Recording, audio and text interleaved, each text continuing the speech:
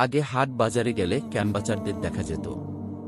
শুধু হাট বাজারেই বা কেন, শহরের আনাচে কানাচেও ক্যাম্বাচারদের দেখা যেত। ওরা যারা বনাজি ঔষধ বিক্রি করত, ওদের সামনে থাকত সাজানো দেশীয় গাছগাছালি। কোনো গাছের কোনো গুণ তা সুন্দর করে বুঝিয়ে বলতো। অনেক ক্যাম্বাচারদের সাথে হারমোনিয়াম তবলা থাকত। গান বাজনার ফাঁকে ফাঁকে ঔষধের গুণাবলী তুলে ধরত। ক্যাম্বাচারদের চারদিকে মানুষ গোল হয়ে দাঁড়িয়ে দাঁড়িয়ে শুনত, ওদের কাছ থেকে ঔষধও কিনত। যে কোনো হাট বাজারের দিন ওরা দুপুরের পরপর গাছগাছালির পশরা সাজিয়ে বসত। থাকত লোকের সমাগমের আশায়, অপেক্ষায়। লোকের সমাগম হতে আর ক্যাম্বাচারদের লেকচার শুরু হতো। ওরা ক্যাম্বাচাররা মাজার মজার গল্প বলতো। ওদের মুখে সেসব গল্প শুনতে খুবই মজা লাগত। ওদের সাজানো গাছগাছালির সামনে চুপ করে বসে বসে ওদের বানানো গল্পগুলো শুনতাম। সেই গল্প মনের ভেতর গেথে রেখে আবার না শোনা বন্ধুদের শোনাতাম। সেসব গল্পের মধ্যে একটা গল্প আজ কয়েকদিন ধরেই মনে পড়তে লাগল। গল্পটা হলো এক হেকিমের বাদশার তেলেসমাতি দেখানোর গল্প। যার নাম ছিল লোকমান হেকিম। তিনি নাকি গাছেদের সাথেও কথা বলতেন। গাছেরাও হেকিমের সাথে কথা বলত। ক্যাম্বাচাররা লোকমান হেকিমের গল্প বলে মানুষকে আকৃষ্ট করত। গল্প বলার একটা উদ্দেশ্য ছিল। উদ্দেশ্য হল, ওরা যে গাছগাছালি নিয়ে বসেছে, এসব গাছগাছালি দিয়ে তো একসময় একমাত্র লোকমান হেকিমই ওষুধ তৈরি করতেন। তাই ওরা মানুষকে বোঝানোর জন্য লোকমান হেকিমের গল্প শোনাত। আজ সেসব গল্পের মধ্যে একটা গল্পের পুরো কাহিনী সবার সামনে তুলে ধরছি। তবে হ্যাঁ এই গল্পের সাথে আমি কোথাও কোনো মিল খুঁজে পাইনি। সত্য আর মিথ্যা তা বিবেচনায় নিবে আমার পাঠক ও সহলেখক বৃন্দ আশা করি সবাই সাথে থাকবেন। গল্প ছিল এরকম। এক বাদশা ছিলেন। বাদশার নেশা ছিল শিকার। দুই তিন দিন পরপর বাদশাহ সৈন্য সামন্ত নিয়ে হরিণ শিকারে বের হতেন। যেতেন গহীন বনে। ভয় বলতে বাদশার ছিল না। বাদশাহ ছিলেন খুবই সাহসী। একদিন তিন চারজন সৈন্য সাথে নিয়ে শিকারে বের হলেন। কোথায় কোনো বনে যাবেন, তা আর ঠিক করতে পারছিলেন না। হঠাৎ বাদশার মাথায় এক বুদ্ধি চলে এলো। বুদ্ধি হল, যেসব বনে একবার গিয়েছি, সেসব বনে আজ আর যাব না। যাব এক অচেনা বনে। তা হোক নিকটে হোক দূরে। সাথের সৈন্যদের জিজ্ঞেস করল, দূরে কোনো অচেনা গহীন বন আছে কিনা? একজন সৈন্য বলল, আছে। বাদশাহ জিজ্ঞেস করলেন, সেই বনের নামটা কি? সৈন্য বলল, বনের নাম সোনাবন। বাদশাহ জিজ্ঞেস করলেন, তা কোথায়? সৈন্য বলল, অনেক দূরে, হুজুর। আবার অনেক ভয়ানক বাদশাহ রেগে বললেন, ভয়ানক হোক আর দূর হোক, আমাকে সোনা বনে নিয়ে চলো। যেই কথা, সেই কাজ। বাদশাকে নিয়ে গেলেন অচেনা অজানা সোনা বনের কাছে। সোনা বনের পরিবেশ দেখে বাদশাহ খুবই খুশি হলেন। খুবই সুন্দর। মনোরম মায়াবী পরিবেশ। বনের কাছে যেতেই বনের প্রাকৃতিক শোভা যেন বাদশাকে ভেতরে ডাকছে। বাদশাহ খুশিতে বলতে লাগল, এই সুন্দর মায়াবী সোনা বনে মায়াবী হরিণ আছে। আমার শিকার জীবনে এই বনের হবে সেরা শিকার। কিন্তু সাথে যাওয়া সৈন্যরা কেউ যেতে সাহস পাচ্ছিল না। কারণ এই সোনা বন সবার কাছে অচেনা হলেও সোনা বনের ভেতরের কাহিনী অনেকের কাছেই ছিল সোনা এবং জানা। তাই বন দেখে সাথে যাওয়ার মতো সবাই ভয়ে থতমত। সবার এরকম অবস্থা দেখে বাদশাহ ভীষণ রাগ করলেন। সবাইকে বললেন, তোমরা পুরুষ নামের কলঙ্ক। এই বলেই বাদশাহ সবাইকে রেখে নিজেই সোনা বনের ভেতরে চলে গেলেন। সাথে যাওয়া সৈন্যরা সোনা বনের বাইরে বসে রইলেন বাদশার অপেক্ষায়। বাদশাহ সোনা বনের ভেতরে যাচ্ছে তো যাচ্ছেই। যতই ভেতরে যাচ্ছে, সাহসী বাদশার ততই শরীর ছমছম করছে। আর এক সৈন্য তো আগেই বলেছিল, বনটি খুবই ভয়ানক। কিন্তু বাদশাহ তা আর গুরুত্বের সাথে নেয়নি। বাদশাহ তার সাহসিকতার দাপটে এক পর্যায়ে বনের গহিনে চলে গেলেন। সাথে থাকা সৈন্যদল রয়ে পেলেন বাইরে। বাদশাহ এখন সোনা বনের গহিনে একা। সাহসী বাদশাহ তীরধনুক তাক করে এদিক সেদিক এগুচ্ছে, তাকাচ্ছে। বাদশার কানে মানুষের কান্নার আওয়াজ আসছে। অতি নিত্যেই কে যেন কাঁদছে। সেও আবার মেয়ে গলায় বাদশাহ ভয় পাচ্ছিল তো পাচ্ছিল না। এগুচ্ছে তো এগুচ্ছে না। এমনই চলছিল বাদশার অবস্থা। এভাবে একটু একটু করে সময় যাচ্ছে, আর বাদশার কানে কান্নার আওয়াজ আরও বেশি আসছে। বাদশাহ এখন হরিণ খোঁজা বাদ দিয়ে কান্নার খোঁজে মন দিল। বাদশাহ জোরে বলতে লাগল, কে তুমি কাঁদছ? তুমি কে? তুমি আমার মতো মানুষ? নাকি জিন ভূত? যদি মানুষই হয়ে থাকো, তাহলে আমার সামনে আস। তোমার শত সমস্যা আমি সমাধা করে দিব, এসব বলার পরপরই আড়াল থেকে কে যেন বলল, হুজুর, আমি আপনার মতো মানুষ। তবে মেয়ে মানুষ। কিন্তু আমি আপনার সামনে আসতে পারছি না। আমি যে বস্ত্রহীন হুজুর। আমাকে এক টুকরো বস্ত্র দিন। আমি আপনার দেয়া বস্ত্র পরে আপনার সামনে আসি, বাদশার এবার একটু বাড়তি সাহস হল। মনের ভেতর থেকে কিছুটা ভয় দূরীভূত হল। এবার বাদশা বলল, তুমি কোথায়? আমি তো তোমাকে দেখছি না। না দেখার মাঝে আমি তোমাকে পরিধান করার বস্ত্র দেই কীভাবে? দূর থেকে আওয়াজ আসলো, হুজুর, আমি আপনার পিছনে বড় গাছটার আড়ালে আছি। দয়া করে বস্ত্রখণ্ড গাছের উপাসে ফিকে দিন। আমি বস্ত্র পরিধান করে আপনার সামনে আসি। কথা মতো বাদশা নিজের মাথায় থাকা সাদা কাপড়ের পাগড়ি খুলে গাছের সামনে ফিকে দিল।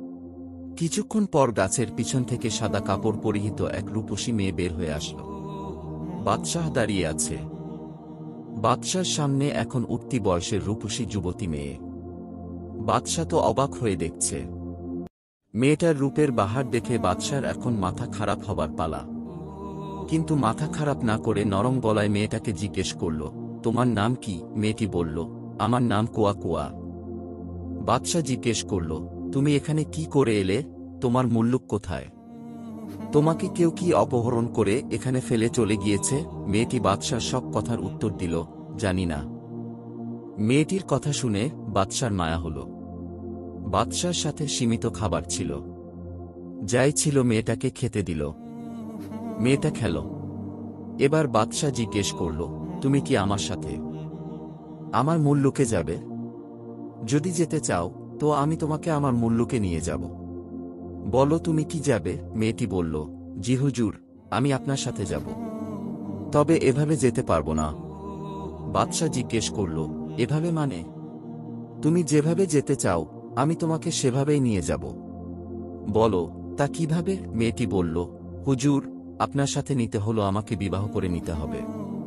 তা কি আপনি করবেন?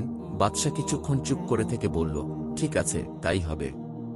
এই বলেই দুইজনে সোনাবনের গহীন থেকে বাইরে আসলো। এদিকে বাদশার সাথে যাওয়া সৈন্যরা চিন্তায় অস্থির। ওরা সৈন্যরা শুধু বনের দিকে তাকিয়ে আছে, কতক্ষণে বাদশাহ আসবে। বাদশাকে দেখার জন্য সৈন্যরা করছে পায় তারা। এমন সময় বাদশাহ সৈন্যদের সামনে হাজির। সাথে রূপসী এক মেয়ে। সৈন্যরা অবাক হয়ে জিজ্ঞেস করল, হুজুর, আপনি গেলেন হরিণ শিকার করতে। অথচ আপনার সাথে হরিণ নেই। সাথে নিয়ে আসলেন এক রূপসী মেয়ে। তো হুজুর, আপনার সাথে এই মেয়েটাকে, বাদশাহ বলল, এটা হবে তোমাদের নতুন রানীমা। এই বলেই সবাইকে সাথে নিয়ে বাদশাহ তার মুল্লুকের দিকে রওনা দিলেন। বাদশার মুল্লুকে গেলেন। বাদশার মহলে আগে বিয়ে করা এক রানী আছে। বড় রানী জিজ্ঞেস করল, জাহাপনা, জানতে পারি, আপনার সাথে মেয়েটিকে বাদশাহ বলল, এই মেয়েটি আজ এখনই আমার রানী হবে। তুমি হবে বড় রানী, আর এই মেয়েটি হবে আমার ছোট রানী, বড় রানী বাদশার কথা শুনে চুপ করে মহলের ভেতরে চলে গেল। এমনিতেই আগেকার রাজা বাদশাদের মহলে তিন চারটে করে রানী থাকত। তাই আর বড় রানী বাদশার মুখের উপর কিছু না বলে চুপ করে চলে গেল। এরপর বাদশাহ উজিরকে ডেকে বললেন, কাজী ডাকো। যেই কথা সেই কাজ। কাজী আসলো। বিয়ে হল। ছোট রানীর থাকার জন্য আলাদা এক কোঠা দেওয়া হলো। বাদশাহ এখন বড় রানীর ঘরে না থেকে মনের আনন্দে ছোট রানী কোয়া কোয়াকে নিয়েই বেশি থাকে। বাদশাহ রূপসী কোয়া কোয়াকে পেয়ে অতীত বর্তমান যেন সবই ভুলে গেছে। ভুলে গেছে বাদশার প্রাণপ্রিয় বন্ধু লোকমান হেকিমের কথাও। যিনি হলেন হেকিমের বাদশাহ। এর আগে বাদশাহ যখন যা কিছু করত, প্রিয় বন্ধুর থেকে বুদ্ধি পরামর্শ নিয়েই করত। যে কোনো জটিল বিষয়ে বন্ধুকে স্মরণ করতে বন্ধু লোকমান হেকিম সেই জটিল বিষয়ের সমাধান করে দিত। অথচ বাদশাহ রূপসী কোয়া কোয়াকে বিয়ে করে ঘরে তোলার পর প্রিয় বন্ধুকে যেন মনের অজান্তেই ভুলে গিয়েছে। কোয়া কোয়াকে দেখার পর বিয়ে পর্যন্ত কোনো কিছুই জানানো হয়নি প্রিয় বন্ধু লোকমান হেকিমকে। তবে বাদশার প্রিয় বন্ধু লোকমান হেকিম কিন্তু তার মুল্লুকের বর্তমান হালচাল সবই নজরে রাখছে। স্মরণেও রাখছে। বাদশার মুল্লুকে কখন কি হচ্ছে সব বিষয়ে সজাগ দৃষ্টি রাখছে। আগে পরে খবরও রাখছে। বাদশাহ যে সোনা বনের গহীন থেকে একটা মেয়েকে উদ্ধার করে এনে বিয়ে করেছে, তাও জানে। কীভাবে করেছে, তাও জানে। মেয়েটির জন্ম পরিচয়ও আগে থেকে লোকমান হেকিমের জানা আছে। কিন্তু বাদশা মেয়েটিকে বিয়ে করার পর লোকমান হেকিম নিজে থেকে কোনোদিন মুল্লুকে প্রবেশ করেনি। এদিকে বাদশার মুল্লুকে একের পর এক অঘটন ঘটেই চলছে। অঘটন হল প্রতি রাতে কোনো না কোনো গ্রামে জনসাধারণের গরু থাকে না, মহিষ থাকে না, ছাগল থাকে না। কুয়া কুয়াকে মুল্লুকে আনার পর থেকে চারদিকে কিসের যেন এক আলামত শুরু হয়ে গেছে। প্রতিদিন বাদশার কাছে গ্রামের মানুষজন এসে প্রতিকার চেয়ে কান্নাকাটি করছে। লোকজনের মুখে এমন কথা শুনে বাদশাহ ভাবতে শুরু করল। অবশেষে ভাবনার কুলকিনারা না পেয়ে স্মরণ করল বন্ধু লোকমান হেকিমকে। বাদশার দরবারের উজিরকে দিয়ে খবর পাঠানো হল। বাদশার এমন মহাবিপদের কথা শুনে লোকমান, হেকিম আর রাগ করে থাকতে পারলেন না। হেকিমের বাদশাহ ছুটে এলেন বন্ধু বাদশার মল্লুকে। বাদশার সাথে দেখা করলেন। বাদশাহ বন্ধু লোকমান, হেকিমকে বসতে দিলেন। লোকমান, হেকিম বাদশার পাশে বসলেন। কদিন আগে সোনা বন হরিণ শিকারের ব্যাপারে বিস্তারিত খুলে বললেন। হরিণ শিকারে গিয়ে হরিণ না পেয়ে সাথে করে এক অসহায় মেয়েকে বন থেকে উদ্ধার করে মুল্লুকে এনেছেন, তা জানালেন। বিয়ে করে ঘরে রেখেছেন, তাও জানালেন। এরপর থেকে মুল্লুকে বর্তমান পর্যন্ত মুল্লুকের পরিস্থিতির বর্ণনা দিলেন। মুল্লুকের বর্তমান সংকটময় অবস্থার কথা জানিয়ে কীভাবে কি করা যায়, বুদ্ধি চাইলেন। লোকমান হেকিম বাদশার মুখে সব বিবরণ শুনলেন। শুনে হাসলেন বন্ধু লোকমান হেকিমের হাসি দেখে বাদশাহ হাসির রহস্য জানতে চাইলেন। লোকমান হেকিম বাদশার কথা শুনে চুপ করে থেকে বললেন, নতুন বিয়ে করা স্ত্রী কোথায়? আপনার নতুন স্ত্রীর হাতে কি এক গ্লাস পানীয় পান করতে পারব না? নতুন স্ত্রীকে বলুন, আমার জন্য এক গ্লাস পানি আনতে।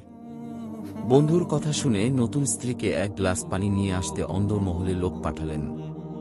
লোক মারফত নতুন স্ত্রীর কাছে খবর যাওয়ার পর নতুন রানী এক গ্লাস পানি নিয়ে বাদশার দরবারে এলেন। কুয়া কুয়া পানি নিয়ে দরবারে এসে লোকমান হেকিমকে দেখে রাগে কোর্সায় একাকার হয়ে গেলেন। নতুন রানী বললেন, আমি কোনো পরপুরুষের সামনে আসি না, কথা বলি না। আর যেই লোক আপনার বন্ধু, অন্তত এই লোকের সাথে কিছুতেই আমি কথা বলব না। প্রিয় বন্ধুকে হঠাৎ ক্ষণিকের দেখায় এরকমভাবে বলল, আর কেনই বা বলল, বাদশাহের কিছুই বুঝতে পারলেন না। এরপরও নতুন স্ত্রীকে বন্ধু লোকমান হেকিমের সাথে পরিচয় করিয়ে দিতে চাইলে নতুন রানীর মুখ ঘুরিয়ে মহলের ভেতরে চলে যায়। নতুন রানীর এমন অবস্থা দেখে বাদশাহ অবাক হয়ে বন্ধু লোকমান হেকিমকেই জিজ্ঞেস করছে, এর ঘটনা কি? বাদশার এমন প্রশ্নে বন্ধু লোকমান হেকিম শুধু হাসতে লাগল। বন্ধু লোকমান হেকিমের হাসি দেখে বাদশা রেগেমেগে বলল, হাসি বাদ দিয়ে বলুন ঘটনা কি? এবার লোকমান হেকিম বলল, বন্ধু, ঘটনা তো অনেক কিছু। তা বলে কি আর শেষ করা যাবে? যাবে না বন্ধু। তবু ও অন্তত কিছু তো বলতেই হয়। তাহলে শুনো, মেয়েটিকে মহলে এনে তুমি মারাত্মক ভুল করেছ বন্ধু। যেই ভুল তুমি করেছ, তার খেসারত তোমার মুল্লুকের সবাইকে দিতে হবে। এর কারণ হল, এই মেয়েটি বন্ধু মানুষ নয়। মেয়েটি একটা রাক্ষস। এই রাক্ষসী মেয়েটি তোমাকে ঘুমে রেখে রাতের অন্ধকারে তোমার মহল থেকে বের হয়ে গ্রামের জনসাধারণের গরু। ছাগল, মহিষসহ যা পায়, তাই খেয়ে ফেলে। বন্ধু লোকমান হেকিমের মুখে এসব শুনে বাদশার এখন জীবন যায় যায় অবস্থা। এসব বিষয় আসে শুনে বাদশা ভয়ে কাঁপতে লাগল। বাদশার অবস্থা বেগতিক দেখে বন্ধু লোকমান হেকিম এক পুরিয়া ঔষধ খাইয়ে দিল। বাদশা সুস্থ স্বাভাবিক হয়ে বলল, এসব আমি বিশ্বাস করি না। আমাকে এর প্রমাণ দেখাতে হবে, লোকমান হেকিম বলল, অবশ্যই প্রমাণ দেখবে, বন্ধু। বাদশাহ সুস্থ, স্বাভাবিক হয়ে বলল, এসব আমি বিশ্বাস করি না। আমাকে এর প্রমাণ দেখাতে হবে, লোকমান হেকিম বলল, অবশ্যই প্রমাণ দেখবে, বন্ধু। বাদশাহ বললেন, আর হ্যাঁ প্রমাণ দেখতে হলে তোমার কিছু কাজ করতে হবে। তা কি তুমি পারবে? বাদশাহ বললেন, অবশ্যই পারব। বলো আমাকে কি করতে হবে? লোকমান হেকিম বলল প্রথমত তোমার মহল অভ্যন্তরে থাকা সমস্ত পানির উৎস বন্ধ করতে হবে। যেমন, ঘরে থাকা কলসিতে পানি থাকতে পারবে না। গোপনে পানির কলসি খালি করে রাখতে হবে। তা যেন তোমার নতুন রানী না জানে। যদি তোমার মহলের ভেতরে পানির কল জাতাকল থেকে থাকে, তাও গোপনে উঠিয়ে ফেলতে হবে। মোটো কথা তোমার মহলে যেন কোথাও কোনো পানি না থাকে। এসব তুমি কি করতে পারবে, বন্ধু? বাদশাহ দিলেন পারব তারপর? লোকমান হেকিম বলল, তারপর গভীর রাতে তুমি তোমার নতুন রানীর কাছে এক গ্লাস পানি চাইবে। তুমি বলবে, আমার খুব পানির পিপাসা পেয়েছে, আমাকে এক গ্লাস পানি দাও। তখন দেখবে তোমার নতুন রানী তোমাকে কোত্থেকে পানি এনে দেয়। তবে খবরদার, পানি যেখান থেকেই সংগ্রহ করুক না কেন, সেই পানি তুমি কিন্তু পান করো না। যদি ভুলবশত সেই পানি তুমি পান করো, তাহলে তোমার নির্ঘাত মৃত্যু। এই বুদ্ধি দিয়ে বন্ধু লোকমান হেকিম বাদশার মহল ত্যাগ করে নিজের গন্তব্যে চলে যায়। যাবার আগে বলে গিয়েছে, আমি বন্ধু, আগামীকাল আবার তোমাকে দেখতে আসব। বন্ধু লোকমান হেকিমের কথা শুনে বাদশাহ সেসব কাজ সম্পন্ন করার জন্য মুহূর্তেই লোক লাগিয়ে দিলেন। বন্ধু লোকমান হেকিমের কথা শুনে বাদশাহ সেসব কাজ সম্পন্ন করার জন্য মুহূর্তেই লোক লাগিয়ে দিলেন। যা লোকের অভাব নেই, তার কাছে অনেক কঠিন কাজ সহজে করাটাও কোনো ব্যাপার নয়। মুহূর্তেই সব কাজ সমাধা হয়ে গেল। এখন আর বাদশার মুল্লুকের কোথাও এক ফোঁটা পানি পাওয়া যাবে না। কেউ পানি পানি করে চিল্লাচিল্লি করলেও পানি পাবে না। না, পাক। তাতে বাদশার কিছুই আসে যায় না। বাদশার দরকার কুয়া কুয়ার রূপ দেখা। একসময় বিকেল গড়িয়ে সন্ধ্যা ঘনিয়ে রাত হল। বাদশাহ দরবার হল থেকে কোয়া কোয়ার ঘরে যেতে ভয় পাচ্ছিল। না গেলেও হচ্ছে না।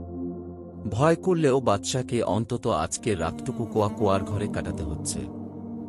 নিরুপায় বাদশাহ উপায়ন্তর না দেখে ভয়ে ভয়ে কোয়া কোয়ার ঘরে গিয়ে শুয়ে রইলেন। কোয়া কুয়া বাদশাকে জিজ্ঞেস করল, জাহাপনা, কিছু মুখে না দিয়ে শুয়ে রইলেন যে? বাদশাহ ভয়ে কোয়া কোয়ার দিকে না তাকিয়ে বলল, আজ আমার পেটে ক্ষুধা নেই। আমার শরীরটা খুবই ক্লান্ত। তাই শুয়ে রইলাম। আমাকে আর ডাক দিও না, কোয়া কুয়া। আমার বড্ড ঘুম পাচ্ছে। এই বলেই বাদশাহ ঘুমের ভান ধরে শুয়ে রইলেন। রাত যখন গভীর হল বাদশাহ কুড়মুড়িয়ে উঠে পানি পানি করতে লাগল। বাদশার গলার আওয়াজ কুয়া কুয়ার কানে যেতেই কুয়া কুয়া ঘুম থেকে উঠে জিজ্ঞেস করল জাহাপনা আপনার কি পানির পিপাসা পেয়েছে? বাদশাহ মাথা নেড়ে সায় দিল। কুয়া কুয়া একটা গ্লাস হাতে নিয়ে ঘরে থাকা পানির পাত্র কলসির সামনে গেল। কিন্তু কলসিতে পানি নেই। হাতে গ্লাস নিয়ে এই ঘরের বাইরে থাকা জাতাকলের সামনে গেল। জাতাকলও নষ্ট। পানি ওঠে না। কুয়া কুয়া এখন ভাবছে। কি ব্যাপার? ঘরের কলসিতে পানি নেই, জাতাকল নষ্ট। এসবের মানে কি? কুয়া কুয়া ঘরে এসে ভাবতে শুরু করল। ভাবতে ভাবতে চোখের সামনে লোকমান হেকিমের প্রতিচ্ছবি ভেসে উঠল। কুয়া কুয়া বুঝতে পেরেছে, এটা বাদশার বন্ধুর সলাপরামর্শগুলোর মধ্যে একটি। কুয়া কুয়া ভাবছে, আর বাদশাহ বুজু বুজু টেরা চোখে ভয়ে ভয়ে দেখছে। এমন সময় কুয়া কুয়া ঘরে জানালা খুলল। জানালা খুলে জানালার রড বেঁকিয়ে ফেলল। তারপর বাম হাতে পানির গ্লাসটা ধরে জানালার বাইরে হাত বাড়িয়ে দিল। সেই দৃশ্য বাদশাহ টেরা চোখে চেয়ে চেয়ে দেখছিল। বাদশাহ দেখতে পেল, গ্লাসসহ হাত শুধু লম্বাই হচ্ছে। এতে পানির গ্লাসসহ হাত যে কোথায় যাচ্ছে, তা বাদশার ছিল অজানা। এরপর বাদশা জ্ঞানহারা হয়ে বিছানায় ঢলে পড়ে রইল। কুয়া কুয়া মুহূর্তেই গ্লাস ভর্তি পানি নিয়ে এলো। পানির গ্লাসটা বাদশার সামনে ধরে বলছে, জাহাপনা, পানি নিন, পান করুন, কিন্তু বাদশার আর হুঁশ নেই, জ্ঞান নেই। বাদশার এই অবস্থা দেখে কোয়া কোয়া বুঝতে পেরেছে, বাদশা ভয়ে জ্ঞান হারিয়েছে। কোয়া কোয়া মনের ক্ষোভে পানি ভর্তি গ্লাসটা ঘরে মেঝেতে ফেলে দিয়ে শুয়ে রইল। সকাল হতে না হতে বাদশাহ কোয়া কোয়াকে ঘুমে রেখেই একটা ঘোড়া নিয়ে বন্ধু লোকমান হেকিমের বাড়িতে রওনা দিল। লোকমান হেকিম তখনও ঘুমের ঘোরে। বাদশাহ বন্ধু লোকমান হেকিমের ঘরের দরজায় টোকা দিতেই লোকমান হেকিম ঘরের দরজা খুলে বাইর হল। ঘর থেকে বের হয়ে লোকমান হেকিম দেখল বন্ধু বাদশাকে বাদশাহ কাদা কাদা সরে বলল, বন্ধু, আমাকে বাঁচাও। এই রাক্ষসীর হাত থেকে আমার মুল্লুক বাঁচাও। হেকিম বললেন, কেদো না বন্ধু, তুমি শান্ত হও। সব ঠিক হয়ে যাবে ইনসাল্লাহ এই বলেই লোকমান হেকিম তাড়াতাড়ি করে বাদশাকে নিজের ঘরে নিয়ে গেলেন। বসতে দিলেন। জিজ্ঞেস করলেন, ঘটনা কি বন্ধু? কিছু টের পেলে? তোমার নববধূ থেকে পানি এনেছিল? এবার বুঝতে পেরেছ তো? বাদশার মুখে কোনো কথা নেই। অনেকক্ষণ চুপ করে বসে রইলেন। লোকমান হেকিম এবার জিজ্ঞেস করল, বন্ধু, তোমার কোয়া কোয়া কি রাতে কিছু পানি এনেছিল? যদি পানি এনে থাকে তো কীভাবে এনেছি? লোকমান হেকিমের প্রশ্নের জবাবে বাদশাহ গতরাতে ঘটে যাওয়া ঘটনা বলতে গিয়ে বললেন, বন্ধু, আমি তোমার কথা মতো ঘুমের ভান করে অনেক রাত পর্যন্ত শুয়ে রইলাম। এরপর একসময় আমি এক গ্লাস পানি দেবার জন্য কোয়া কোয়াকে বললাম কোয়া কোয়া ঘরে বাইরে কোথাও পানি না পেয়ে ঘরের জানালার রড বাঁকা করে গ্লাসসহ হাত বাড়িয়ে দিলেন। আমি দেখলাম কোয়া কোয়ার হাত শুধু লম্বা হয়ে কোথায়। যেন হারিয়ে যাচ্ছিল। এই অবস্থা দেখেই আমি জ্ঞানহারা হয়ে বিছানায় পড়ে রইলাম। এরপরের ঘটনা কি ঘটেছে, তা আর আমি জানি না, বন্ধু। লোকমান হেকিম বললেন, এখন প্রমাণ পেলে তো? তুমি বন্ধু ভুল করে যেই রাক্ষসী তোমার মুল্লুকে এনেছ এর খেসারত তুমি তো দিবেই, সাথে তোমার মুল্লুকে জনসাধারণকে দিতে হবে। লোকমান হেকিমের কথায় রাগ না করে বাদশাহ বললেন, এখন উপায়? লোকমান হেকিম বলল, অবশ্যই এর উপায় আছে বন্ধু। তবে আরও কিছু কাজ করতে হবে। জবাবে বাদশাহ বললেন, এই রাক্ষসীকে তাড়াতে যা করা দরকার তাই করব। আর যা কিছু লাগে তাই দিব। তবু আমার মুল্লুক থেকে এই রাক্ষসীকে তারাও বন্ধু। লোকমান হেকিম বললেন, ঠিক আছে বন্ধু, তাই হবে। এখন তুমি তোমার মহলে চলে যাও। মহলে যাবার কথা শুনেই বাদশাহ ভয়ে কেঁপে কেঁপে বলল, না বন্ধু, এই রাক্ষসী থাকতে আমি আমার মহলে যাব না। তুমি তাড়াতাড়ি ওকে তাড়ানোর ব্যবস্থা অরো লোকমান হেকিম বললেন, তাড়াতে তো অন্তত কয়েকদিন সময় লেগে যেতে পারে, বন্ধু। আর এই সময়ের মধ্যে একটা বড় বেতের নৌকা তৈরি করতে হবে। বেতের নৌকাটি হবে দোতলা। সেই নৌকায় চড়ে আমাদের যেতে হবে কুলসুম দরিয়ায়, নীল দরিয়া। যেই সাগরের পানির উপরে কিছুই ভেসে থাকে না। লোহা দিয়ে তৈরি করা জাহাজও ভেসে থাকে না। এমনকি কাঠের জাহাজ অথবা নৌকাও ভাসে না। সব রকমের বস্তু দিয়ে তৈরি জাহাজ অথবা নৌকা মুহূর্তেই ডুবে যায়। ডুবে না একমাত্র বেত দিয়ে তৈরি করা জাহাজ অথবা নৌকা। বেতের নৌকায় চড়ে আমরা সেই দরিয়ায় যাব। সাথে তোমার নববধূও থাকবে। তবে এর আগে তোমার কোয়াক কোয়াকে শোনাতে হবে যে, আমরা কিছুদিনের জন্য ভ্রমণে যাব। সাথে আমার এক বন্ধুও যাবে। তোমার কুয়া কুয়া অবশ্য যেতে চাইবে না। তারপরও শত চেষ্টা করে হলেও তাকে রাজি করাতেই হবে। তুমি কি পারবে বন্ধু? জবাবে বাদশাই বললেন, বেতের নৌকা তৈরি করতে বেশি দিন সময় লাগবে না বন্ধু। আমি আমার লোকজন দিয়ে খুব তাড়াতাড়ি সময়ের মধ্যেই বেতের নৌকা তৈরি করে ফেলব। হয়তো একটু সময় ডালবে কোয়া কোয়াকে রাজি করাতে। তা যেভাবেই হোক, আমি কোয়া কোয়াকে রাজি করাবই। বাদশার কথা শুনে লোকমান হেকিম বললেন, তাহলে এবার তুমি মহলে গিয়ে ঠান্ডা মাথায় কাজ করো। আর হ্যাঁ তোমার রূপসী কোয়া কোয়ার সাথে আমাদের কথোপকথন ভুলেও ফাঁস করবে না। যদি করো তো মহা বিপদের সম্মুখীন হতে হবে, এই বলেই লোকমান হেকিম কুইয়ে বিয়ে বাদশাকে মহলে পাঠিয়ে দিলেন। বাদশাহ ভয়ে ভয়ে মহলে গেলেন। মহলে গিয়ে উজির, নাজির, কোতোয়ালকে সাথে নিয়ে দরবারে বসলেন।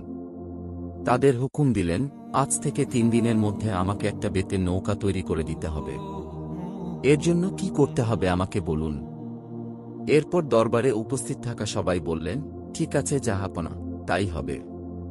এই বলেই উজি নাজির কোতোয়াল বের হলেন বেতের নৌকা তৈরি করার কারিগরের খোঁজে।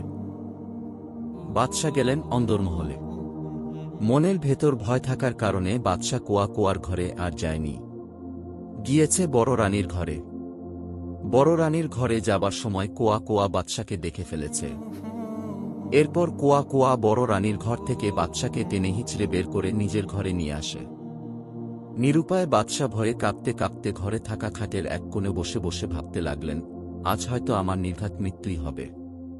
নিরুপায় বাদশা ভয়ে কাঁপতে কাঁপতে ঘরে থাকা খাটের এক কোণে বসে বসে ভাবতে লাগলেন, আজ হয়তো আমার নির্ঘাত মৃত্যুই হবে। বাদশাহ এমন দুশ্চিন্তা নিয়ে একসময় ঘুমিয়ে পড়লেও, সেই রাতে বাদশার তেমন ঘুম হয়নি। মৃত্যু হয়নি। ভোর হতে না হতেই বাদশাহ আবার ছুটে গেলেন বন্ধু লোকমান হেকিমের বাড়ি। বাদশার এখন আর কিছুই ভালো লাগছে না। খাওয়া নেই, নাওয়া নেই, ঘুম নেই। বাদশাহ এখন শারীরিক দিক দিয়েও ক্লান্ত হয়ে পড়েছেন। বাদশাকে দেখে লোকমান হেকিম জিজ্ঞেস করল, বন্ধু, বেতের নৌকার খবর কি? আর আমি তোমাকে বলেছি বেতের নৌকা। তা আসলে কিন্তু ছোট্ট একটা নৌকা নয়। হতে হবে বিশালাকৃতির এক জাহাজের মতো। যেহেতু আমরা সাগরে যাব, সেহেতু আমাদের নৌয়ান হতে তার উপযোগী। সাগরের বিশাল বিশাল ঢেউ অতিক্রম করে আমাদের সঠিক গন্তব্যে পৌঁছাতে হবে। কাজেই আমাদের নৌয়ানও থাকতে হবে ওরকমই। আর মাঝিমাল্লাও থাকতে হবে পর্যাপ্ত। বেতের জাহাজ চলবে দিনরাত। মাঝিরা কেউ কাজ করবে, কেউ বা বিশ্রামে থাকবে। তুমি সেইভাবেই জাহাজটা তৈরি করবে, বন্ধু, বাদশাহ বলল। আমি জানি সাগরে চলার জন্য কোন ধরনের নৌযান উপযোগী। তোমার এ ব্যাপারে বলার আগেই আমি ইতোমধ্যে বেতের জাহাজ তৈরি করার জন্য সখানেক লোক লাগিয়ে দিয়েছি। তাও হবে দোতলা জাহাজ। জাহাজে থাকবে সখানেক মাঝিমাল্লা। থাকবে দীর্ঘদিনের খাবার সামগ্রী। আমার উজির সাহেব বললেন, খুব শীঘ্রই জাহাজ তৈরির কাজ শেষ হয়ে যাবে। লোকমান হেকিম বলল, ঠিক আছে বন্ধু। তাই যেন হয়। আর তোমার কোয়া কোয়াকে সাগর ভ্রমণের ব্যাপারে কিছু বলেছ? উত্তরে বাদশাহ বলল, না বন্ধু, তা আর বলা হয়নি। তবে আজকেই রাক্ষসী কোয়া কোয়াকে বলব। লোকমান হেকিম বলল, তাহলে এখন তুমি তোমার মহলে গিয়ে বিশ্রাম করো। আর বেতের জাহাজ তৈরির কাজে তদারকি করো, যাতে অতি তাড়াতাড়ি জাহাজ তৈরির কাজ সম্পন্ন হয়। আর তোমার কোয়া কোয়াকে ম্যানেজ করো এই বলেই লোকমান হেকিম বাদশাকে তার মহলে জোর করে পাঠিয়ে দিলেন। বাদশাহ আগের মতোই ভয়ে ভয়ে মহলের দিকে রওনা দিল। বাদশাহ মহলে গিয়ে কুয়া কুয়াকে বলল, কদিন পর আমরা সাগর ভ্রমণে বের হব। নতুন বিবাহ করেছি তো, তাই তোমাকে নিয়ে হানিমুনে যাব। কি বলো, কুয়া কুয়া, উত্তরে কুয়া কুয়া জবাব দিল, এসব আমার কিছুই ভালো লাগে না জাহাপনা আপনি বরং নিজেই সাগর ভ্রমণে যান। আমি মহলেই থাকি। এতদিন বন জঙ্গলে ছিলাম। ভাগ্যক্রমে আপনার দেখা পেলাম। আপনাকে স্বামী হিসেবেও পেলাম। এখন আপনার মুল্লুক ছেড়ে আমার কোথাও যেতে ইচ্ছে করে না, বাদশা বলল, না কোয়া কোয়া, তা হয় না। তোমাকে আমার সাথে যেতেই হবে। না গেলে আর হচ্ছে না। বাদশার অনুরোধে শ্রেষ্ঠ কোয়া কোয়া রাজি হল। বেতের জাহাজ তৈরি করা সম্পন্ন হল। জাহাজের ভেতরে মাসেক ছমাসের খাদ্য সামগ্রী তোলা হল। সাগর ভ্রমণে যাবার দিন তারিখ ঠিক হল। যাবার আগের দিন লোকমান হেকিমকে জানানো হল। সঠিক সময়ে বাদশাহ কোয়া কোয়াকে নিয়ে বেতের জাহাজের দোতলায় গিয়ে উঠল। মাঝিরাও জাহাজ ছাড়ার প্রস্তুতি নিয়ে বসে আছে। অপেক্ষা শুধু লোকমান হেকিমের জন্য। কিন্তু বাদশার বন্ধু লোকমান হেকিম আসতে দেরি হচ্ছে। দেরি হবার কারণ হল লোকমান হেকিম সাথে করে যেসব প্রয়োজনীয় কিছু ঔষধপত্র সাথে নেবেন, সেগুলো গোছাতেই হল দেরি। জাহাজের দোতলায় বাদশার সাথে বসে আছে রূপসী কোয়া কোয়া। কুয়া কুয়া বাদশাকে বলছে, কি ব্যাপার জাহাপনা, জাহাজ ছাড়ছে না কেন? জবাবে বাদশাহ বলল, মাঝিরা আমার বন্ধুর জন্য অপেক্ষা করছে। আমার বন্ধু আসলেই জাহাজ ছেড়ে দিবে, কোয়া কোয়া বলল, এটা আপনার কোনো বন্ধু, জাহাপনা। ওইয়ে সেদিন আপনার সাথে যাকে দেখলাম, তিনি বাদশাহ মাথা নেড়ে জবাব দিল হ্যাঁ কোয়া কোয়া। এই বন্ধুটি ছাড়া আমি একদম চলতে পারি না। আমার যেখানেই যাওয়া হয়, আমি আমার বন্ধুকে নিয়ে সেখানে যাই। কোয়া কোয়া এবার খুব রাগ হয়ে বাদশাকে জিজ্ঞেস করল, জানতে পারি, আপনার বন্ধু কি করে? বাদশা নির্ভয়ে মনে আনন্দ নিয়ে জবাব দিলেন, আমার প্রাণপ্রিয় বন্ধু হলেন হেকিম। তার নাম লোকমান হেকিম। তিনি গাছেদের সাথেও কথা বলতে পারেন। লোকমান হেকিমের কথা শুনেই কোয়া কোয়া রেগে মেগে অস্থির হয়ে বলল, আমি সাগর ভ্রমণে যাব না। আপনি আপনার বন্ধুটিকে সাথে নিয়ে ঘুরে আসুন। বাদশাহ এবার একরকম রাগের মাথায় ধমক দিয়ে বললেন, আমার বন্ধু আমার সাথে যাবে, তাতে তোমার সমস্যা কি? আমি তো তোমার কোনো সমস্যা দেখছি না। প্রয়োজনে আমার বন্ধু জাহাজের নিচতলাই থাকবে। তবুও আমার প্রিয় বন্ধু সাথে যাবে। বাদশার এমন রাগ দেখে কোয়া কোয়া একটু নরম হলেন। চুপ করে বসে বসে কি যেন ভাবলেন। এরপর নিজে থেকেই বলে ফেললেন আচ্ছা ঠিক আছে জাহাপনা উনি আসুক। নিচতলায় যখন থাকবে, তো আমার কোনো সমস্যা নেই। তবে হ্যাঁ উনি যেন কোনো অবস্থাতেই উপর তলায় না উঠে। কারণ, আমি পরপুরুষের ছায়া দেখি না। কোয়া কোয়ার কথায় বাদশাহ মাথা নেড়ে সাই দিলেন। এমন সময় লোকমান হেকিম তার প্রয়োজনীয় ঔষধাদি সাথে নিয়ে জাহাজের সামনে হাজির হলেন। জাহাজে উঠে নিচতলায় গিয়ে বসলেন। মাঝিদের জাহাজ ছাড়ার জন্য বললেন, মাঝিরা জাহাজ ছাড়লেন। জাহাজ চলছে অজানার উদ্দেশ্যে। কোথায় যাবে, কোন দিকে যাবে তার নির্দেশনা দিচ্ছেন লোকমান হেকিম নিজেই। এভাবে চলতে চলতে দুই মাস পার হলে গেল। তবুও চলছে বেতের জাহাজ। এর মধ্যে কোথাও কোথাও বিরতিও চলছে। বিরতির সময় জায়গায় জায়গায় নেমে সবাই এদিক সেদিক ঘোরাফেরাও করছে। আবার চলছে জাহাজ অজানা গন্তব্যের উদ্দেশ্যে। একসময় কুয়া কুয়া বিরক্ত হয়ে বাদশাকে জিজ্ঞেস করল জাহাপনা আপনার ভ্রমণের গন্তব্যস্থান কোন সাগর পারে যেখানে যাবেন, সেখানকার নামটা জানতে পারি, কুয়া কুয়ার কথা শুনে বাদশা রীতিমতো থুবনে গেল। কুয়া কুয়ার কথার জবাব না দিয়ে অন্য প্রসঙ্গ তুলতেই নিচ থেকে লোকমান হেকিম বলল, বন্ধু, তোমার স্ত্রীকে বলো, আমরা ঠিক কুলসুম দরিয়ার কাছাকাছি যাব। লোকমান হেকিমের কথা শুনে কুয়া কুয়া হাসতে লাগল।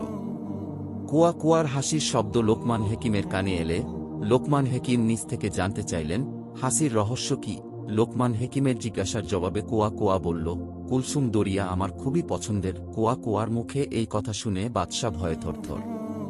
তারপরও তেমন ভয় পাচ্ছে না, কারণ বন্ধু লোকমান হেকিম সাথে আছে বলে। কুলসুম দরিয়া কুয়া কুয়ার কাছে খুবই পছন্দের। এমন কথা শোনার পর লোকমান হেকিম বললেন, বাহ, বেশ তো। তাহলে তো অচেনা অজানা জায়গা নিয়ে আমাদের আর কোনো চিন্তাই নেই। এমনিতেই কুলসুম দরিয়ার পানিতে আস নেই। যাকে বলে দোয়াশ পানি। শুনেছি এই দরিয়ার পানিতে কোনো কিছু ভেসে থাকে না। এও শুনেছি যে এই দরিয়ার নাকি কোনো তলাও নেই। শুধু পানি আর পানি। তা কি ঠিক? ভাবি সাহেবা, আমি কি তা ভুল শুনেছি? লোকমান হেকিমের কথার জবাবে কোয়া কোয়া বললেন, যত সব আহম্মকের মতো কথাবার্তা। দরিয়ার যদি তলাই না থাকে, তো এত পানি আছে কিসের উপর? অবশ্যই পানিগুলো একটা পাত্রের উপরেই আছে। শুধু কুলসুম দরিয়া কেন? দুনিয়ায় সব নদীনালা, সাগর মহাসাগরেরও তলা আছে। এবার লোকমান হেকিম হেসে বললেন, আমার বিশ্বাস হয় না যে কুলসুম দরিয়ার তলা আছে। আর যদি থেকেই থাকে, তো আপনাকে অবশ্যই প্রমাণ করতে হবে। কুলসুম দরিয়ার তলা আছে, তা কি আপনি প্রমাণ করতে পারবেন? ভাবি সাহেবা কোয়া কোয়ার আগে কোষায় বলল, অবশ্যই প্রমাণ দেখাতে পারব। লোকমান হেকিম বললেন, তা কীভাবে আপনি প্রমাণ দেখাবেন যে কুলসুম দরিয়ার তলা আছে? কোয়া কোয়া বলল, কুলসুম দরিয়ার মাঝখানে যাওয়ার পর আমি একটা সাপ হয়ে পানির নিচে যাব। আমার লেজটা থাকবে আপনার হাতে। আমি কুলসুম দরিয়ার তলদেশে গিয়ে লেজ নাড়াচাড়া করলেই বুঝতে হবে আমি কুলসুম দরিয়ার তলদেশে পৌঁছেছি। আর না হয় কুলসুম দরিয়ার তলদেশ থেকে আমি আমার মুখে করে মাটি নিয়ে আসব। তাহলেই তো প্রমাণ হয়ে গেল যে কুলসুম দরিয়ার তলা আছে। এখন আপনি কোনটাতে রাজি? লোকমান হেকিম বললেন, আপনাকে কষ্ট করে এত নিচ থেকে মাটি কামড়ে আনতে হবে না, ভাবি সাহেবা। আপনার লেজটা যদি আমার হাতেই থাকে, নিচে গিয়ে একটু নাড়াচাড়া করলেই প্রমাণ হয়ে যাবে কুলসুম দরিয়ার তলা আছে। কোয়া কোয়া তাতেই রাজি হয়ে বলল, ঠিক আছে, হেকিম সাহেব, তাই হবে। কোয়া কোয়ার মুখে এমন কথা শোনার পরই বাদশাহ জ্ঞানহারা হয়ে গেলেন। বাদশার আর কোনো হুশ নেই, জ্ঞানও নেই। বাদশাহ একটা মরা লাশের মতো শুয়ে আছে। বেতের জাহাজও চলছে জোরে সোরে। কুলসুম দরিয়ার মাঝে পৌঁছতে আর অল্প কদিনের পথ বাকি। এরপরই শুরু হবে কোয়া কোয়া আর লোকমান হেকিমের কেরামতি। কুলসুম দরিয়ার মাঝে পৌঁছতে আর অল্প কদিনের পথ বাকি। এরপরই শুরু হবে কোয়া কোয়া আর লোকমান হেকিমের কেরামতি। কোয়া কোয়ার সাথে সেদিন লোকমান হেকিমের কথাবার্তা এই পর্যন্তই শেষ। মানে পাকাপাকি কথা। কোয়া কোয়া আর লোকমান হেকিমের কথাবার্তার সময় বাদশাহ যে জ্ঞানহারা হয়ে পড়েছে, তা ছিল বন্ধু লোকমান হেকিমের অজানা। বাদশার সাথে কথা হয় সাগর ভ্রমণের যাত্রাপথে কদিন আগে। শেষ বিরতির সময়। বাদশার মুল্লুক থেকে জাহাজ ছেড়ে আসার পর। পর থেকে লোকমান হেকিমের সাক্ষাৎ হয়েছিল দুই তিনবার। তাও সাগর পথে জায়গায় জায়গায় বিরতির এক ফাঁকে দেখা করতেন। আলাপও সারতেন গোপনে। এছাড়া লোকমান হেকিম এই যাত্রাপথে কোনো সময় জাহাজের উপরে উঠে বাদশার সাথে দেখা করতে পারেনি, দেখা করেওনি এভাবেই যাচ্ছে দিন, পড়াচ্ছে মাস। এভাবেই চলছে জাহাজ। পাড়ি দিচ্ছে সাগরের পর সাগর। এভাবে আর দুই এক দিন চললেই পৌঁছে যাবে কুলসুম দরিয়ার মাঝে। কিন্তু বাদশার কোনো সারা শব্দ নেই। বাদশার সারা শব্দ না পেয়ে লোকমান হেকিম নিজে থেকেই কোয়া কোয়াকে জিজ্ঞেস করল, ভাবি সাহেবা, আমার বন্ধুর তো কোনো সারা শব্দ পাচ্ছি না। উনি কি ঘুমাচ্ছে? কোয়া কোয়া বলল, চিন্তার কোনো কারণ নেই। উনি ঘুমাচ্ছে, আসলে কিন্তু বাদশাহ জ্ঞানহারা হয়ে বিছানায় পড়ে রয়েছে। কোয়া কুয়া মিথ্যের বলার কারণ হল, লোকমান হেকিমকে শুধু সান্ত্বনা দেওয়া। যদি বলে বাদশাহ জ্ঞানহারা, তাহলে লোকমান হেকিম সোজা উপরে চলে আসবে। লোকমান হেকিম যেন উপরে না আসে, তাই মিথ্যে কথা বলা। এরপর অবশ্য বাদশার জ্ঞান আপনা আপনি ঠিকই ফিরেছে। বাদশার জ্ঞান ফেরার পর কোয়া কোয়াকে দেখেই বাদশাহ আবার ভয়ে কেঁপে উঠল। বাদশার এই অবস্থা দেখে কোয়া কোয়া বাদশার সামনে গিয়ে আস্তে আস্তে বলল, আপনি ভয় পাবেন না। আমি আপনার কোনো ক্ষতি করব না। আপনি আমাকে জঙ্গল থেকে টেনে নিয়ে আপনার মহলে ঠাই দিয়েছেন। তা আমি ভুলে যেতে পারি না। যদিও আমি মানুষ নই, তবুও আমি আপনার ক্ষতি করব না। যদি আপনার ক্ষতি করার ইচ্ছে আমার থাকত, তাহলে তো আমি আপনার মহলে বসেই ক্ষতি করতে পারতাম। আপনি যখন সোনা বনে হরিণ শিকারে গেলেন, তখনও আমি ক্ষতি করতে পারতাম। কিন্তু আপনার ক্ষতি আমি করিনি। শুধু আশ্রয় নিয়েছি আমার মনোমতো আহার সংগ্রহের জন্য। আমি ছোটবেলা থেকে সোনা বনে ঘুরে ফিরে বড় হয়েছি। বাবাকে দেখিনি। মায়ের মুখে শুনেছি আপনার মতো এক রাজা হরিণ শিকারে এসে বাবাকে তীর মেরে মেরে ফেলেছে। আমার মাকে মরেছিল একজন হেকিম। ওই হেকিম প্রায় সোনা বনের গহিনে গিয়ে ঔষধি গাছগাছালি সংগ্রহ করত। একসময় বনের গহিনে আমার মায়ের গন্ধ ওনার নাকে লাগল। আমার মাও হেকিমের সামনাসামনি হয়ে গেল। ওমনি হেকিম উনার বানানো ঔষধ আমার মায়ের উপর নিক্ষেপ করে। এরপর মায়ের মৃত্যু হয়েছে মনে করে হেকিম তাড়াতাড়ি সোনা বন থেকে চলে যায়। মা বনের গহিনে পড়ে ছট করছিল। তখন আমি ছিলাম খুবই ছোট।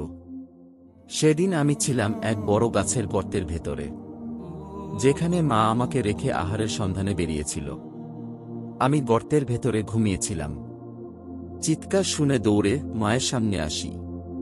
মা আমাকে ধরে কেঁদে কেঁদে বলে গিয়েছিল, একজন মনুষ্য হেকিম মায়ের শরীরে কি যেন নিক্ষেপ করেছিল? এরপরই মায়ের মৃত্যু হয়। মায়ের মৃত্যুর পর আমি একা হয়ে গেলাম। সোনা বনে পশু পাখি ধরে ধরে খেতাম। খেতে খেতে সব পশু পাখি শেষ করে ফেললাম।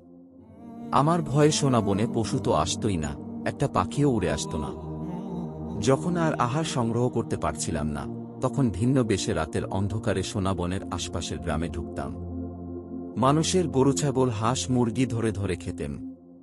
এমনকি ক্ষুধার জ্বালা সহ্য করতে না পেরে সময় সময় মানুষও ধরে খেয়ে ফেলতাম। ভোর না হতেই আবার সোনাবনের গহিনে চলে আসতাম। এভাবে চলতে চলতে সোনা বনের আশেপাশের গ্রামের মানুষজন আমাকে বধ করার জন্য উঠে পড়ে গেলে যায়। আমিও ছিলাম মনুষ্য ভয়ে। কারণ আমার বেশ ধরার কেরামতি আর শারীরিক শক্তি যতই থাকুক না কেন, মানুষের বুদ্ধির কাছে আমি সবসময় শূন্য। আমি বুদ্ধিহীন, শক্তিহীন কেবল মানুষের কাছেই। তাই আমি মানুষকে খুবই ভয় পাই না। মানুষের ভয়ে ভয় থাকতে থাকতে এমন সময় আপনার দেখা পেলাম। মানুষ বেশে আমার সামনে এলাম। আপনি আমাকে পরিধান করার মতো বস্ত্র দিলেন। আদর করে বুকে টেনে নিলেন। আপনার স্ত্রীর মর্যাদা দিলেন। আমিও আশ্রয় পেলাম। আপনার মুল্লুক হল আমার নতুন মুল্লুক। আপনার মুল্লুকের মানুষের কাছে আমি ছিলাম অজানা। তাই কদিন রাতের অন্ধকারে মনের আনন্দে আহার করেছিলাম। মনে করেছিলাম সারা জীবন এভাবে থেকে মনের আনন্দে ঘোরাঘুরি করব। কিন্তু তা বুঝি আর হল না। আমি যে মানুষ নই, তা টের পেয়ে গেল আপনার বন্ধু লোকমান হেকিম। আমি এখন বুঝতে পেরেছি, আমার মাকে কি মেরেছিল। আমি নিশ্চিত, আমার মাকে আপনার এই বন্ধু লোকমান হেকিমই মেরেছিল। এখন আবার ওনারই একটা পরীক্ষার মধ্যেও আমি পড়ে গেলাম।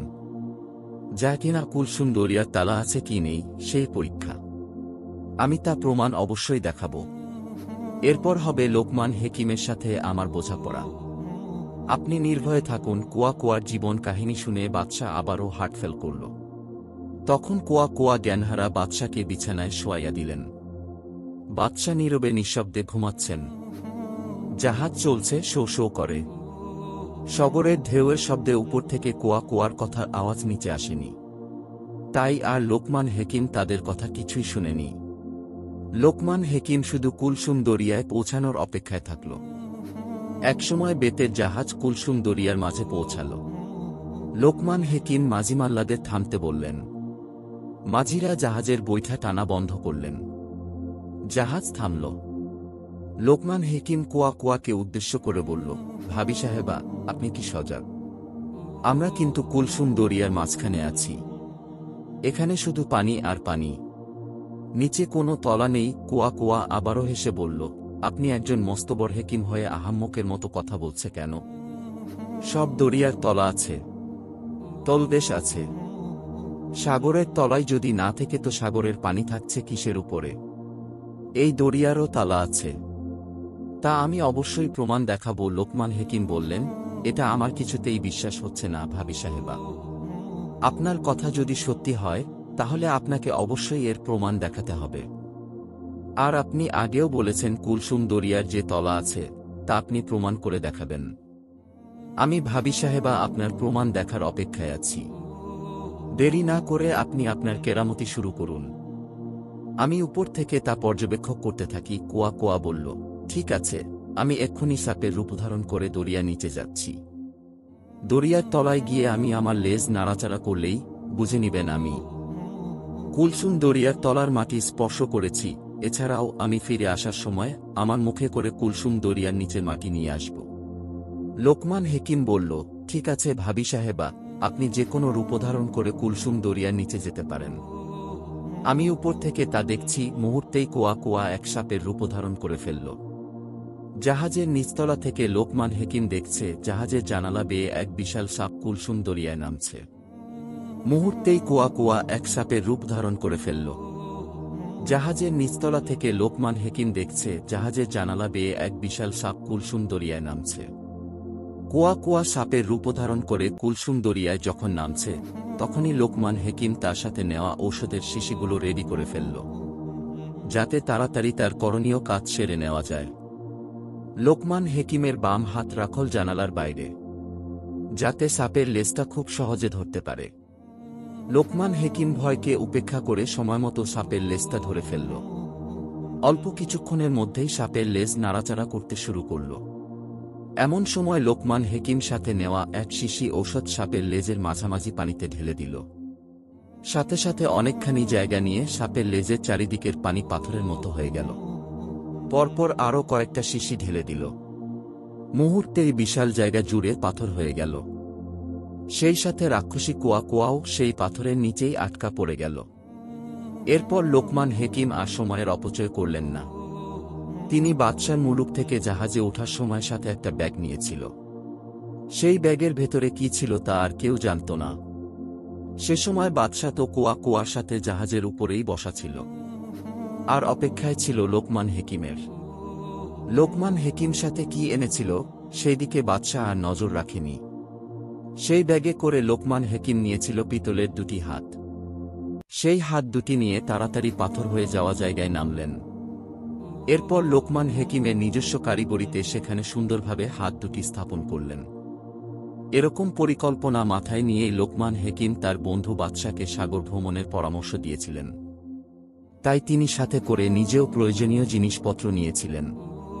সেখানে লোকমান হেকিমের পিতলের হাত দুটি স্থাপনের উদ্দেশ্য হল, এই কোয়া কোয়া রাক্ষসী কোনো এক সময় মোড়ামুড়ি দিয়ে পাথর ভেঙে উপরে উঠে যেতে পারে। যদি পাথর ভেঙে উপরে উঠে যায় তাহলে কোয়া কোয়া দুনিয়া সবকিছু তছনছ করে ফেলবে। পুরোপুরিভাবে উঠতে না পারলেও তার লেজটা পাথরে আটকা থাকা অবস্থায়ও সাগরে চলাচলকারী নৌয়ানসহ জাহাজের নাবিকদের আক্রমণ করতে পারে। তাই লোকমান হেকিম এই নির্দিষ্ট জায়গায় পিতলের হাত দুটি স্থাপন করে দেয়, যাতে এই ভয়ঙ্কর জায়গার আশেপাশে কোনো জাহাজ না আসে। তিনি এমনভাবে হাত দুটি স্থাপন করেছিলেন যেন দুটি হাতি না না করে সংকেত দিচ্ছে। স্থাপন করা হাত দুটি যেন সবার উদ্দেশ্যে বলছে, তোমরা কেউ এদিকে আর এসো না, এদিকে আর এসো না। লোকমান হেকিমের এরকমই দুঃসাহসিক কাজ মাঝিমাল্লারা সবাই চেয়ে চেয়ে দেখল। কিন্তু লোকমান হেকিমের প্রাণপ্রিয় বন্ধু বাদশার কোনো খবর কেউ রাখল না। বাদশাহ তখনও অজ্ঞান হয়ে জাহাজের দোতলায় বিছানায় পড়ে আছে। লোকমান হেকিম করণীয় কাজ সম্পন্ন করে জাহাজের উপরে তাকিয়ে দেখল, তার বন্ধু বাদশা নেই। মাজিদের জিজ্ঞেস করল আমার বন্ধু বাদশা কোথায়? একজন মাঝি দৌড়ে জাহাজের দোতলায় গিয়ে দেখে বাদশা অজ্ঞান হয়ে বিছানায় শুয়ে আছে। উপর থেকেই মাঝি লোকমান হেকিমকে বলল, হুজুর, আপনার বন্ধু বাদশাজি অজ্ঞান হয়ে বিছানায় শুয়ে আছে। আপনি তাড়াতাড়ি করে উপরে আসেন। লোকমান হেকিম তাড়াতাড়ি জাহাজের উপরে গেলেন। দেখলেন বাদশা ঠিকই অজ্ঞান হয়ে শুয়ে আছে। বাদশাকে ঔষধ সেবন করালেন পরপর অনেকবার। কিন্তু বাদশার জ্ঞান ফিরছে না। এখন বাদশাকে নিয়ে লোকমান হেকিম পড়ে গেলেন দুশ্চিন্তায়। যেই ঔষধ পানিতে ঢেলে দেওয়ার পর পানি পাথর হয়ে যায়, সেই ঔষধের মতো ঔষধও বাদশাকে সেবন করানো হয়েছে। তাতেও বাদশা জ্ঞান ফিরছে না। তাই লোকমান হেকিম এখন ভিন্ন রকমের ঔষধ সেবন করাতে চাচ্ছে। কিন্তু তার কাছে আর জ্ঞান ফিরানোর অন্য কোনো ঔষধ ছিল না। আর মাছ দরিয়ায় তো আর ঔষধি গাছ নেই। ঔষধি গাছ সংগ্রহ করতে হলে লোকমান হেকিমকে যেতে হবে বনে জঙ্গলে। তাই তিনি জাহাজের মাঝিমাল্লাদের হুকুম দিলেন, তাড়াতাড়ি দরিয়ার পারে জাহাজ ভেড়াতে। লোকমান হেকিমের কথা মতো মাঝিরা জাহাজ পারে ভেড়াতে করছে প্রাণপণ চেষ্টা, আর লোকমান হেকিম প্রিয় বন্ধু বাদশার পাশে বসে করছে মহান সৃষ্টিকর্তার কাছে ফরিয়াদ। লোকমান হেকিমের ফরিয়াদ হল, হে আল্লাহ, তুমি দয়ার সাগর, তুমি জীবের হায়াতের মালিক। তুমি দয়াল আমার কোল থেকে আমার প্রাণপ্রিয় বন্ধুকে কেড়ে নিও না। তুমি আমাকে যে কবিরাজি ক্ষমতা দিয়েছ, সেই ক্ষমতার কলঙ্ক করো না। যদি আমার কোলে আমার বন্ধুর মৃত্যু হয়, তাহলে আমি যে হেকিমের বাদশাহ লোকমান হেকিম, এই নামের আর ইজ্জত থাকবে না, দয়াল। তুমি রহম করো, ইজ্জত রক্ষা করো। কিন্তু না, সেদিন লোকমান হেকিমের কোনো ফরিয়াদ মহান সৃষ্টিকর্তা শুনেনি। কারণ সেদিনই ছিল বাদশার শেষ দিন, শেষ সময়। হায়াতের খাতায় বাদশার জন্য আর বিন্দুমাত্র সময় অবশিষ্ট ছিল না। মানে বাদশার হায়াত বা আয়ু শেষ। জীবের আয়ু শেষ তো জীবের মৃত্যু। তা সে হোক বাদশাহ। হোক সম্রাট। হোক সে রাস্তার ফকির। আয়ু শেষ তো জীবন শেষ। তাই লোকমান হেকিমের কোলেই বাদশা শেষ নিঃশ্বাস ত্যাগ করে। কিন্তু লোকমান হেকিম তা আর মেনে নিতে পারছিলেন না। মহান সৃষ্টিকর্তার উপর রাগে গোসায় একাকার। লোকমান হেকিম বলতে লাগল, হে আল্লাহ, তুমি আমার বন্ধুকে আমার কোলেই মৃত্যু দিলে। তাহলে তুমিও শুনে রাখ, হে আল্লাহ, আমি লোকমান হেকিম এমন ওষুধ বানাবো, সেই ওষুধ কেউ সেবন করলে তার আর মৃত্যু হবে না। এমনকি সেই ওষুধ মৃত, মানুষের মুখে দিলে মৃত ব্যক্তিও জিন্দা হয়ে যাবে। এর জন্য শুধু আমাকে একটু সময় তুমি দাও। যাতে আমি আমার শেষ ইচ্ছাটা পূরণ করতে পারি। মহান সৃষ্টিকর্তা আল্লাহ পাক তার আরশে বসে হেসে বলে, না, লোকমান হেকিম। তা তুমি কখনোই পারবে না। সেই সুযোগও আমি তোমাকে দিব না। এর আগেই সৃষ্টির নিয়ম অনুযায়ী। তোমারও মৃত্যু হবে। কারণ সেই পর্যন্ত পৌঁছানোর আগেই তোমার হায়াত শেষ হয়ে যাচ্ছে। যা আমি আল্লাহ তোমার আয়ুর হিসাবের খাতায় দেখতে পাচ্ছি। তোমার সময় শেষ হতে আর মাত্র এক ঘণ্টা বাকি। এর মধ্যেই তুমি যা খুশি করতে পারবে। এই সময়ের মধ্যেই মাঝিমাল্লাদের আপ্রাণ চেষ্টায় জাহাজ দরিয়ার পারে ভিড়। লোকমান হেকিম তার প্রাণের বন্ধুকে জাহাজ থেকে নামালেন। সাগর পারে জঙ্গলের ভেতরে বাদশাকে কবর দিলেন। এরপর জাহাজের মাঝিদের বললেন, তোমরা তোমাদের মুল্লুকে ফিরে যাও। এখানে আমার কিছু করণীয় কাজ আছে। আমি আমার কাজ সমাধা করেই আস্তে ধীরে মুল্লুকে ফিরব। যদি হায়াত থাকে, জাহাজের মাঝিমাল্লা লোকমান হেকিমের কথা মতো চলে গেলেন। লোকমান হেকিম দৌড় দিলেন জঙ্গলের দিকে। তার চিকিৎসা শাস্ত্র মতে, অমরত্ব ঔষধ তৈরি করতে একশো আট প্রকারের গাছগাছালির প্রয়োজন। লোকমান হেকিম জঙ্গলে ঢুকে সেসব গাছ সংগ্রহের কাজে লেগে গেলেন। এক এক করে ঔষধি গাছ সংগ্রহ করতে করতে প্রায় পঞ্চাশ প্রকারের গাছ সংগ্রহ করে ফেলে। আর বাকি থাকে আটান্নটি গাছ। এদিকে লোকমান হেকিমের আয়ুর অবশিষ্ট সময়ও দ্রুত ফুরিয়ে যাচ্ছে। তা তো আর লোকমান হেকিম জানতেন না। তা জানতেন জমদূত নামে খ্যাত আজরাইল আলাইহিসাল্লাম একদিকে লোকমান হেকিম জঙ্গলে ঘুরে ঘুরে ঔষধি গাছ খুঁজছে। আরেকদিকে আজরাইল আলাইহিসাল্লাম লোকমান হেকিমকে খুঁজছে। কারণ আজরাইল আলাইহিসাল্লামের কাছে থাকা মৃত্যু তালিকায় লোকমান হেকিমের নাম লেখা রয়েছে। এমন সময় লোকমান হেকিমও তার আধ্যাত্মিক জ্ঞান দ্বারা টের পেয়ে গেলেন যে আজকেই তার শেষ সময়। তিনি লোকমান হেকিম বুঝতে পেরেছেন পিছনে পিছনে কে যেন তারা করছে। তখন তিনি শুধু তিনিতে নেই। তিনি হয়ে গেলেন পঞ্চাশ জন লোকমান হেকিম। পঞ্চাশ জন লোকমান হেকিম একসাথে জঙ্গলের ভেতরে কি যেন খুঁজছে। আজরাইল আলাইহিসাল্লাম তা দেখে অবাক হয়ে গেলেন। তখন আজরাইল আলাইহিসাল্লাম মহান সৃষ্টিকর্তার কাছে ফরিয়াদ করে বলল, হে আল্লাহ, আমার হাতে যেই মৃত্যু তালিকা আছে, সেই তালিকায় লোকমান হেকিমের নাম দেখতে পাচ্ছি। লোকমান হেকিম যে এই জঙ্গলে আছে, তাও আমি জানি। কিন্তু হে বারে এলাহি, আমি এখন দ্বিধা দ্বন্দ্বে পড়ে গেলাম। আমি এখন পঞ্চাশ জন লোকমান হেকিমকে এখনে দেখতে পাচ্ছি। এখন আসল লোকমান হেকিমকে তা আমি বুঝতে পারছি না। হে বারে এলাহি, আপনি আমাকে সাহায্য করুন। আজরাইল আলাইহিস সাল্লামের ফরিয়াদে মহান সৃষ্টিকর্তার তরফ থেকে গায়েবী আওয়াজ এলো। তুমি এক এক করে সব কয়টা লোকমান হেকিমের বুকে হাত দিয়ে দেখো কার বুকখানি থরথর করে কাঁপছে। যার বুক কাঁপছে, সেই হবে আসল লোকমান হেকিম। তুমি তার জানি কবচ করবে। আর কাউকে তোমার খোঁজার প্রয়োজন নেই। আজরাইল সাল্লাম এবং মহান সৃষ্টিকর্তার সাথে গায়েবী বার্তা আদান প্রদানের সময়টুকুতে হয়ে গেল একশো লোকমান হেকিম। এখন আজরাইল সাল্লাম যেদিকে তাকায় শুধু লোকমান হেকিমকেই দেখতে পায়। তারপরও আজরাইল সাল্লামের চলছে এক একজনের বুকে হাত দিয়ে চেক করা। এদিকে লোকমান হেকিমের মৃত্যুর সময় আছে, আর মাত্র মিনিট পাঁচেক বাকি। আজরাইল সাল্লামও খুব দ্রুত চেক করে যাচ্ছে। সে শতক একজনের বুকে হাত দিতেই তার বুকটা থরথর করে কেঁপে উঠল।